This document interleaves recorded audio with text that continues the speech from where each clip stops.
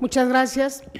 En efecto, quisiéramos cada quien, eso acordamos, informarles a todos ustedes y a todos los que nos siguen en las redes sobre la reunión que sostuvimos con la secretaria de Gobernación, la maestra Rosa Isela, la cual desde hace algunos días la había prometido y la cumplió. Y entramos en punto de las 12 de la tarde a la reunión y terminamos a la 1.45. Fue una hora con 45 minutos la que nos ofreció. Nos pidió que habláramos primero nosotros, eh, hablamos en el orden que siempre lo hacemos, por abecedario. Eh, cada quien habló sobre los temas eh, que habíamos acordado previamente el lunes y bueno, en mi caso, informarles que eh, a mí me tocó hablar sobre la expresión de la Secretaría de Gobernación, sobre la desinformación que existe sobre este instituto.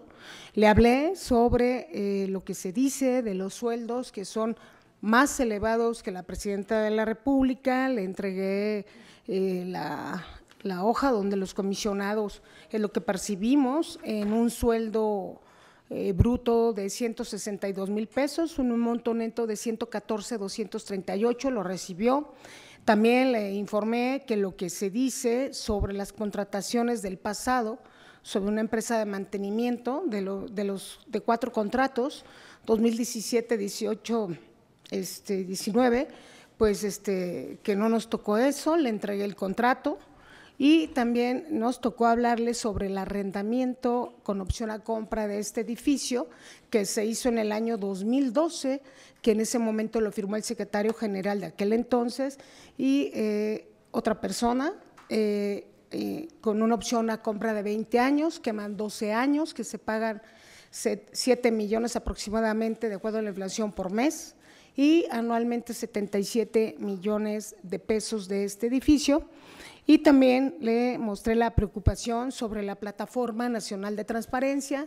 Eh, le dije cuántos millones de registros son con los que cuenta la Plataforma Nacional de Transparencia, cuántos servidores este, se ocupan eh, de manera física en la nube, la seguridad perimetral con la que cuenta la plataforma y que nunca ha sido hackeada y toda la infraestructura tecnológica millonaria con la que cuenta este instituto y que la iniciativa y en este acuerdo que se aprobó en las comisiones de puntos constitucionales en el mes de agosto, pues no, tocaban ese tema.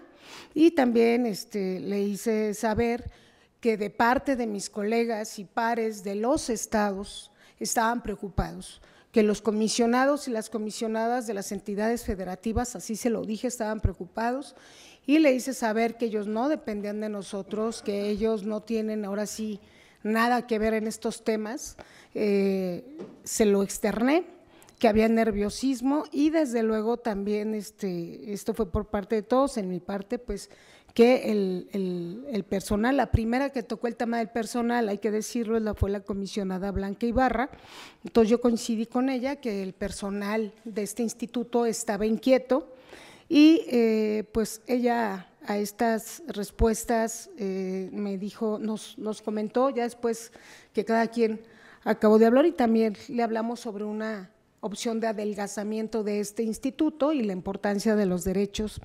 Eh, mm, al momento de hablar del personal, pues se habló en general de que hay mucha gente que tiene años aquí con capacidad técnica y eh, pues que también había preocupación y que si en un momento dado eh, no había alternativa. Nosotros fuimos a defender, no nos fuimos a sumar a la transformación. Nosotros fuimos a defender al instituto y estos derechos, así se lo expresé. Y referente a, la Plataforma Nacional de Transparencia, me dijo que no nos preocupáramos, que ningún dato iba a estar este, en peligro. Eh, nos pidió algunos datos adicionales que se los vamos a hacer llegar. Respecto al personal, lo dijo textualmente, el personal del instituto no tiene ningún problema, es intocable, eh, los, que, los que en un momento dado se irían son ustedes cuatro, así no lo dijo, y, eh, pero el personal es intocable. Y para ir concluyendo,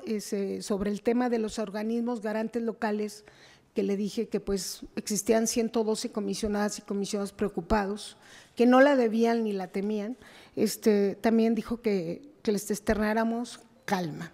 Eh, nos pidió algunos datos, nos preguntó eh, que más o menos a cuánto ascendía eh, el ahorro sobre una reingeniería, se le dijo que aproximadamente 277 millones, cerca de 300, y eh, nos pidió que hiciéramos este, algún esfuerzo por ir a un adelgazamiento mayúsculo, nos pidió algunos datos y quedamos que de manera colegiada a los cuatro le haremos un documento que se lo haremos llegar la semana que entra. Nos externó que la presidenta de la República era una mujer estadista,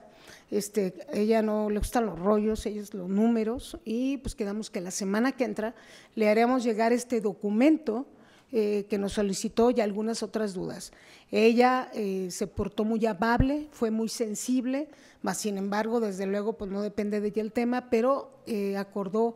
eh, entregarle a la presidenta de la República esta disipación de dudas sobre malos manejos al interior, sobre el edificio, sobre estas cosas, pero también de la importancia de estos dos derechos y de lo que contiene este, las obligaciones de este instituto. Eh, se comprometió a informar a la presidenta y nos solicitó esa información. Concluyo diciendo que la maestra Rosa Isela, la secretaria de Gobernación, de verdad, eh, fue muy amable, muy receptiva, nos mostró todas sus oficinas, eh, nos acompañó a la salida, eh, nos permitió los medios de comunicación que son aliados de la información. tuvimos, tocamos base con ella que si se pudiera hablar con los medios, nos dijo que adelante, que adelante y también este, algunas fotografías. Y quedamos en eso, en entregar este documento y esa es la información que su servidora les puede decir que pasó ahí. No hay ningún compromiso futuro, no hay ninguna suma, ninguna transformación. Fue lo que se habló, nada más. Es cuanto.